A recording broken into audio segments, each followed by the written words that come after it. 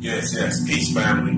This uh a little update that we're gonna give you on uh, black people, how we spend our money.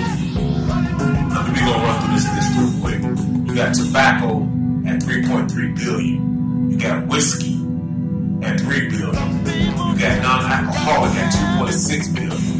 You got leisure and time spending 3.1 billion. Toys, games, and sports 3.5 billion. Gifts and gifts 10 billion charitable contributions 17.3 billion, and healthcare at 23.6 billion. Man, like we gotta put our money together. And we gotta get some we gotta get some profit out of this money because we not bringing in this type of money into our community. This is going all to the people, uh, giving them the money for products and things we need. Disregard that. Just on ethnic hair and beauty aids, we spent 5.4 billion. Okay. Uh, it was another one on here that I just thought about on toiletry.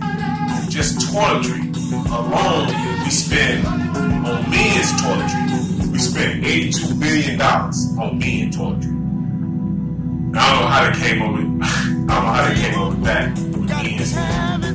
Uh, personal soap and bath needs at 573 million.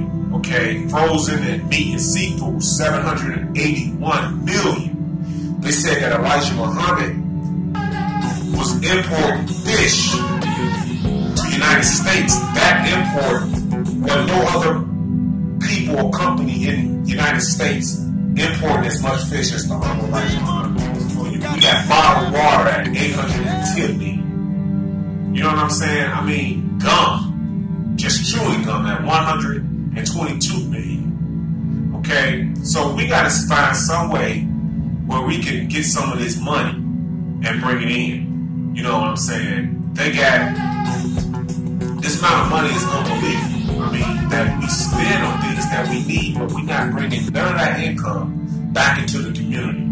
It's going all to other communities. All the money that we spend every month is an ongoing process. So we have to find a way to get this money to come in. Um, with that said, just like the cell phone business, what I was speaking on, I mean, I can't see how none of the entertainers or, you know, professional basketball sport and things of that would, would, wouldn't get into the phone, the cell phone business. You know, imagine we had something like Jordan Wireless, you know what I'm saying? Uh, I mean, let just tap into that market. They say back on the cell phone business. We're gonna get back on that. Telephone service is 18.8 billion. Now, how come we can't tap into that? You know, and make like 500 million. You know what I'm saying? You can hire your people, things of that nature. It's either they blocking us from not getting into that community or into the, into those services uh, where we manufacture our own cell phones and things of that nature we got the money, we just can't get the people together to, to see. I mean, I feel like out of anything that we should start a black business, I feel like we should start our own telephone company. You know what I'm saying? I mean, we don't walk without our telephone in our hand. It's like that telephone in our hand more than we got money in our pockets.